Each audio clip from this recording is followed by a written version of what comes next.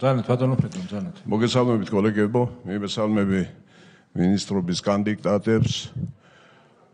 ჩვენ ევროპელი სოციალისტები კენჭისყრაზე მონაწილეობას არ მივიღებთ თავში ვიკავებთ იმიტომ რომ ეს არის მართველი პარტიის პრეროგატივა და ფიქრობ მართველი პარტიას თავისუფლად შეუძლია დაამტკიცოს ის ახალი მთავრობა რომელიც უკვე წარდგენილია.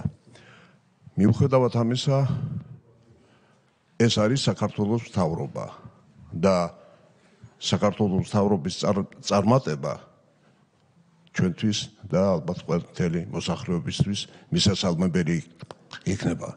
ჩვენ თავისთავად მერჩი დაუდგებით მთავრობას ყველა იმ წარმატებულ პროექტებში სიახლეებში, რომელიც ისინი განახორციელებენ ქვეყნის საკეთილდღეოდ.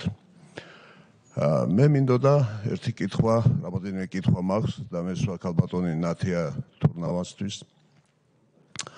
მის მოხსენებაში იყო ნათქვამი, რომ ექსპორტი გაიზარდა. მაინტერესებს რის ხარჯზე გაიზარდა ექსპორტი? ამ ერთი წლის განმავლობაში. ეს ერთი და კითხვა მაქვს, როგორც გამოიკვეთა ფულხანებში სამშენებლო მასალების ფასი გაიზარდა. რა არის მიზეზი ამისი?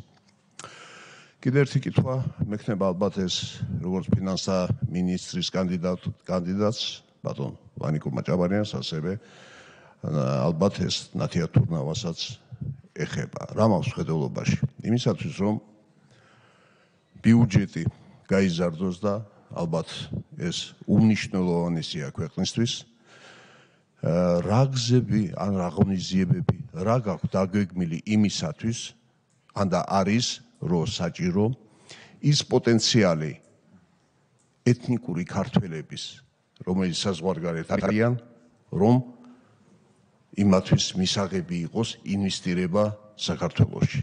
არის რამე პერკეტები იმისათვის რომ იმათვის ეს იყოს მიმზიდველი.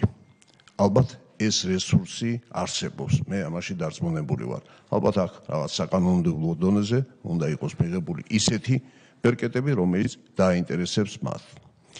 დიდი მადლობა, გისურვებთ წარმატებას.